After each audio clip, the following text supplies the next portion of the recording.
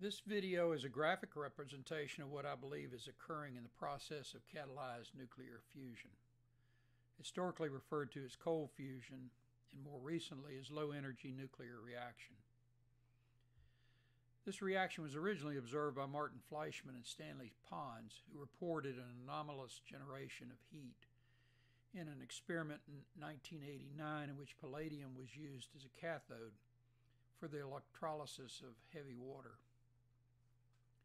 While there were initial difficulties in replication of the experiment, subsequent attempts have shown a positive correlation of heat and helium production, indicative of nuclear fusion but without the gamma ray emissions associated with high energy fusion.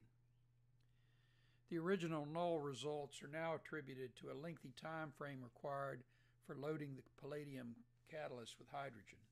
This was initially unrecognized as a parameter of the experiment.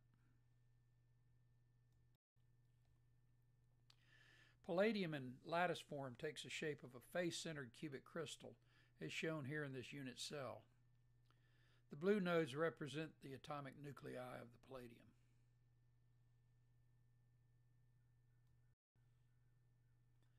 The center of the cube forms an octahedral space with the face-centered nodes. The center of the octahedral space does not contain any atomic nuclei of the lattice element, but it can admit other atoms. In particular, it readily absorbs hydrogen as hydride at room temperature.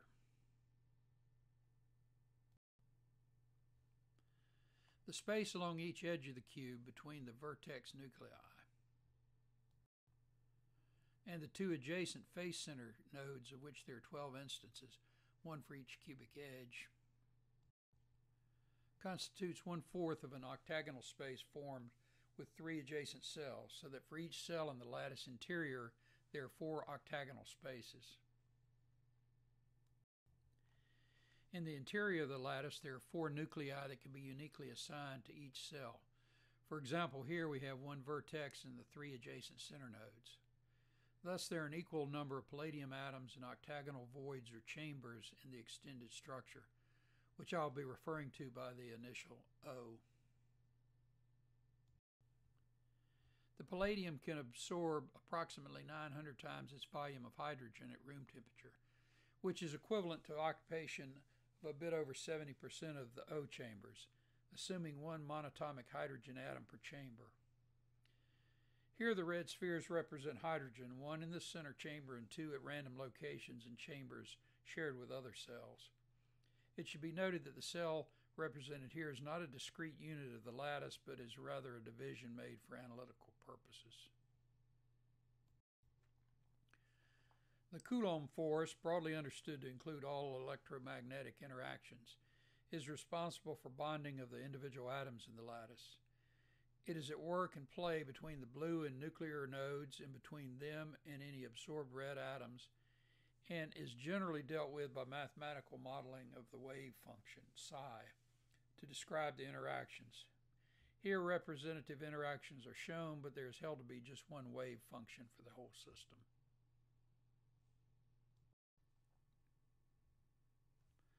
This toy model represents the same face-centered structure, but here we've substituted equal-sized spheres centered on the same nodes as the nuclei of the last slide. They represent the extent of the covalent bond of the lattice atoms. Palladium has a covalent radius of 139 picometers, and nickels is 124 picometers. Here we have removed the left-hand side of the unit cell, consisting of five atoms, and twisted the structure approximately 60 degrees counterclockwise to reveal the interior of the O chamber. We've also added the four face-centered atoms on the far side of the right-hand side of the cell, two of which are visible here. The five nodes of the right-hand face in the first representation of the unit cell are indicated here.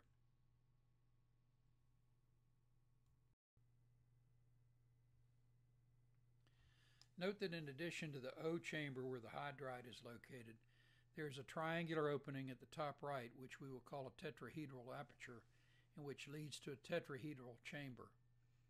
T, formed by the front upper three spheres and the now central sphere, which occupies a face-centered node on the original right-hand face.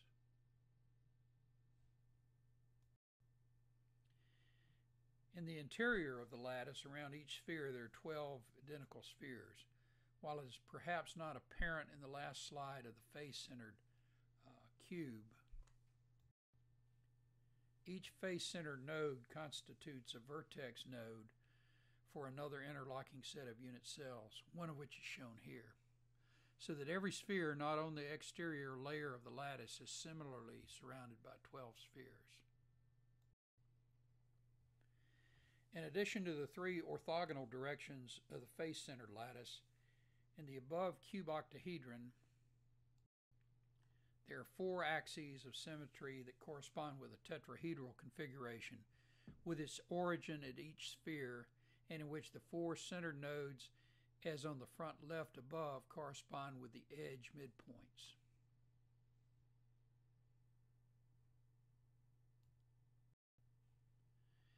Therefore, in this view of the same lattice, each of the 12 edges has a node at its midpoint around a sphere centered at the center, and the four diagonals radiate through the T apertures. Therefore, in addition to four O chambers of the unit cell, three halves on the six faces, eight eighths on the eight vertices, there are eight T chambers. In the interior extent of the lattice, each of the eight T chambers leads from an O directly toward the center of the eight nodes represented by the vertices of the face-centered cubic.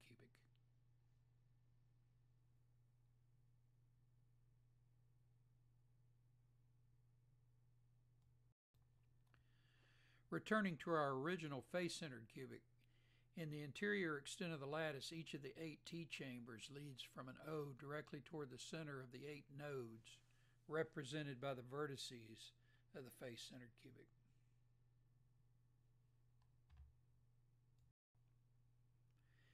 Here we have a direct view of an O chamber.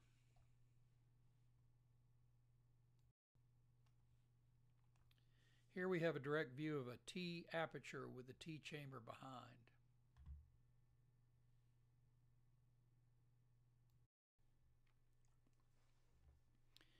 Here we have a depiction of the 4d10 valence electron orbitals and their relationship to the covalent bonding of the lattice atoms and the absorbed hydrogen.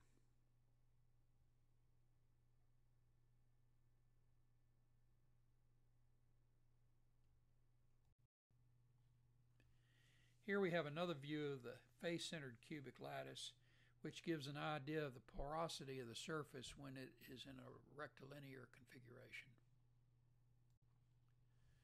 Here we have another view of the same lattice, but with the packing sheared along the planes normal to the tetrahedral axes. This forms an octahedron and shows the tightness of the surface in such configuration. The O chambers still reside in the interior, but the surface has less than 20% the porosity of the last photo due to the exclusivity of the T apertures. Here is a view of a surface of the lattice as determined by the cubic configuration. The interstitial chambers are loaded with hydrogen. The elements are drawn to scale. The lower right shows the presence of two atoms in a chamber as might occur with application of energy of electrolysis. The gap of the O chambers measured left to right and top to bottom, determined by the covalent radii of the lattice element, is 115.2 picometers for palladium and 102.7 picometers for the nickel lattice. The red dots represent hydrogen, which has a covalent radius of 31 picometers or a diameter of 62.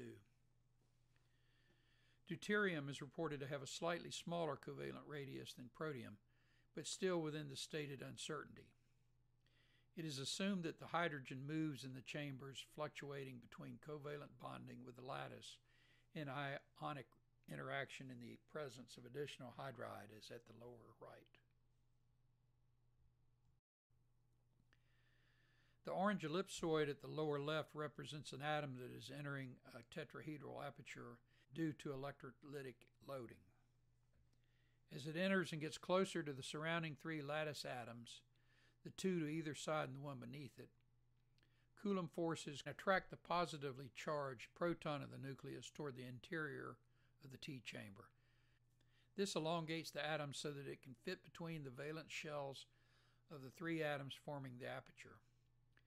In the case of ideal palladium, the aperture will admit a sphere of 43 picometers diameter and the nickel a sphere of 38.2 picometers diameter. Note that the only way to fill the interior O chambers with hydrogen is by tunneling through the T apertures and chambers. Here, the result of that effect is indicated by the dotted hydrogen atoms in the next layer down. The lattice will expand slightly during the absorption process.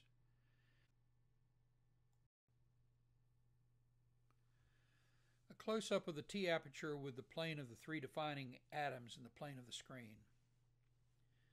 The nuclei at the lattice nodes are represented as blue dots, not to scale. The fourth atom of the tetrahedron is centered in the rear. This shows the symmetry of the entry and its relationship to the electrostatic attraction of the opposing atom. The red sphere at the center, behind the elongated atom passing through the aperture, is a snugly fitting hydrogen atom.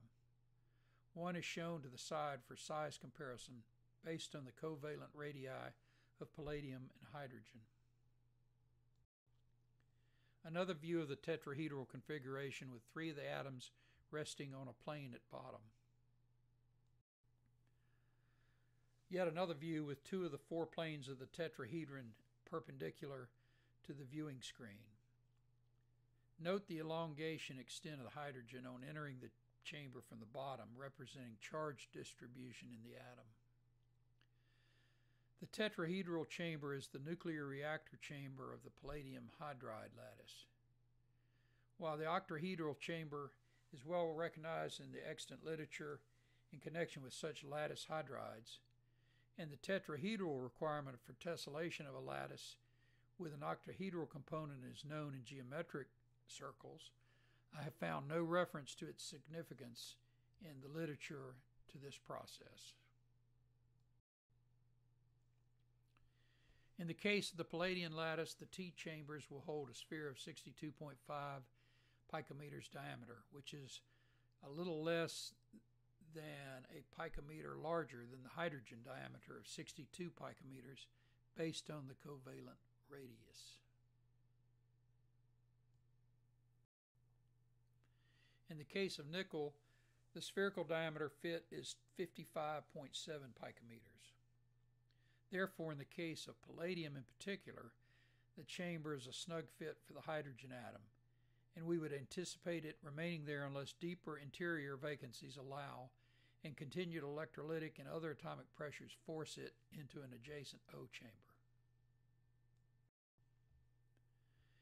In such case, we would anticipate the ellipsoid of the last frame to find its way to the right into the empty central bottom O chamber beneath the top sphere.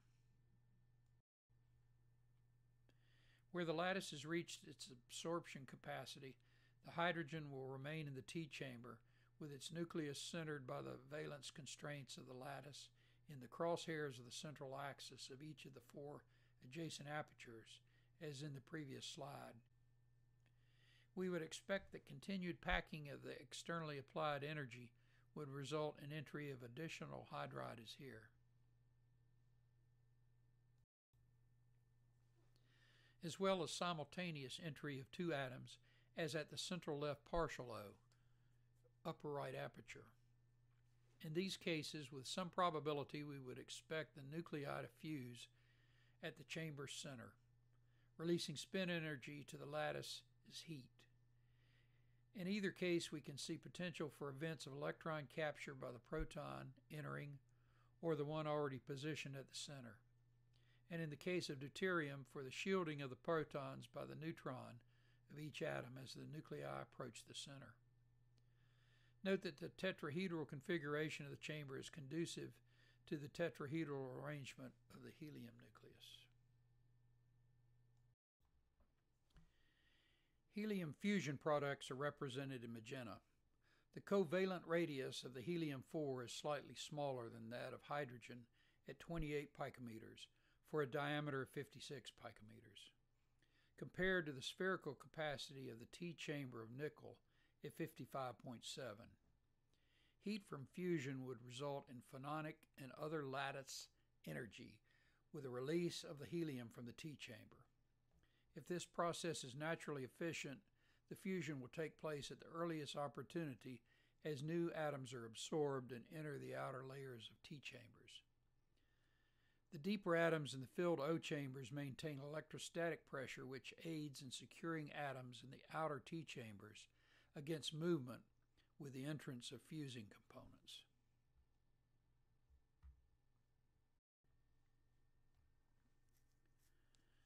Palladium and hydrogen have the same electron negativity of 2.2 on the Pauling scale. This indicates that the nuclei of the bonding atoms will be equidistant from the covalent bonding electrons.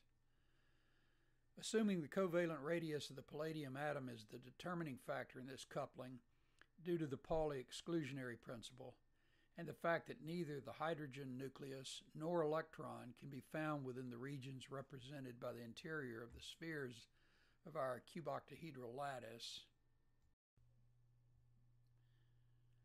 There are only four regions from any given palladium atom in any given O chamber where the covalent bonded hydrogen nucleus can locate, and that's in the region of the tetrahedral apertures. In fact, since the hydrogen nucleus must locate a distance equal to the palladium covalent radius from the bonding electrons, the position for the nucleus is precisely in the center of the aperture and throat, i.e., the point of maximum constriction in the plane of the three defining lattice atoms, nuclei. The position is shown at H in the view from the XY plane and from the YZ plane here.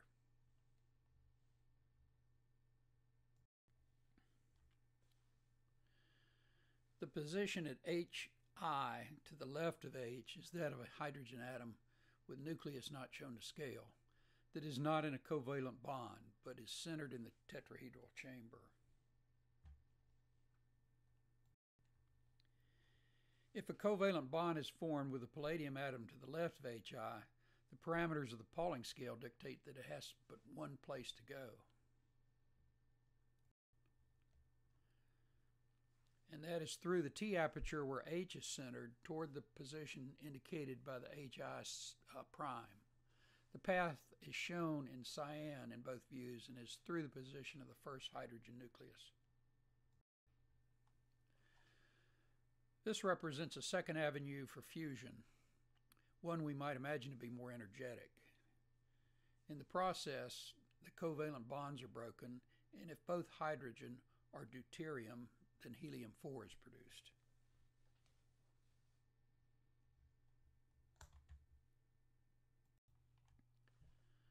The following is a list of lattice and reactant data used in this development.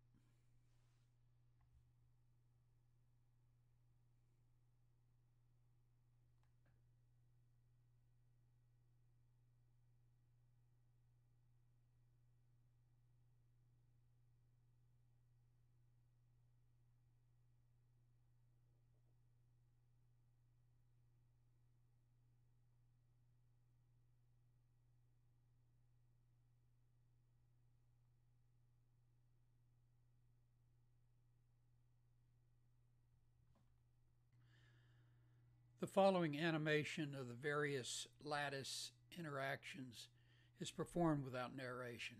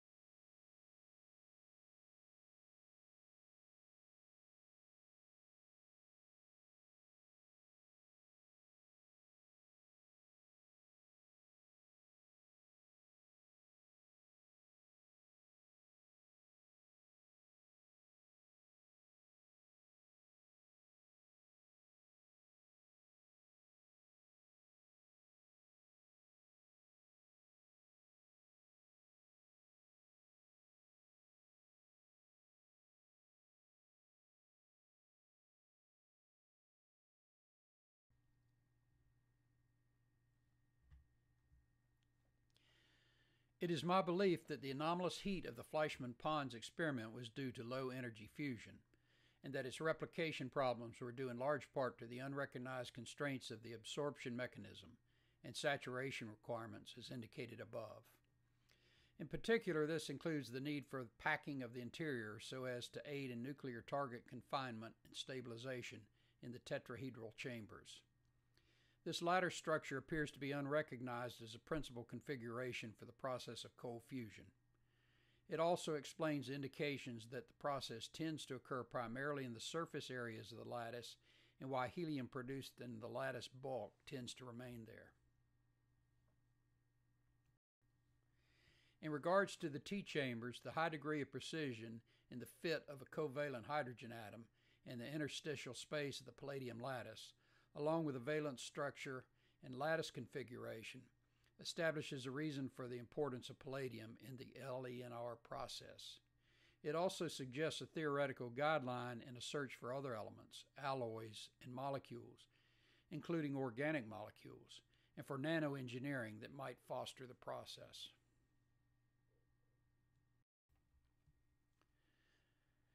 This unique palladium configuration comprises palladium electronegativity of 2.20 equal to that of hydrogen deuterium, which centers the hydrogen nucleus of an interstitial covalent bond in the tetrahedral chamber aperture. T chamber volumetric capacity matched closely to hydrogen covalent radius. No 5s valence orbital except with excitation, thus no covalent bonding potential in the T chamber absent such excitation. Upon such 5s bonding with palladium, T chamber geometry that fosters projection of the hydrogen nucleus through the T aperture center.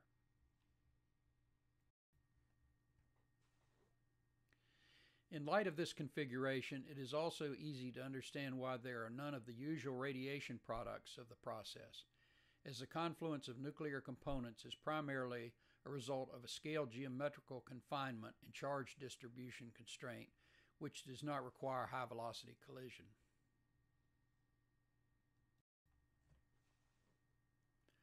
I hope that those with an interest in this process will take the time to review and elaborate on this development.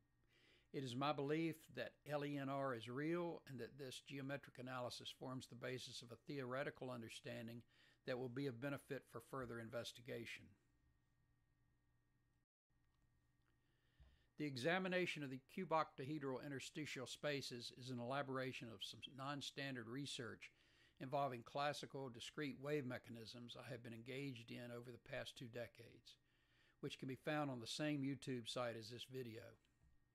Most of the remaining atomic information can be found on Wikipedia and on various governmental and academic sites on the web, notably at chemwiki.ucdavis.edu. I can put the lattice calculations in respectable form if there is sufficient interest. And we'll be happy to do so.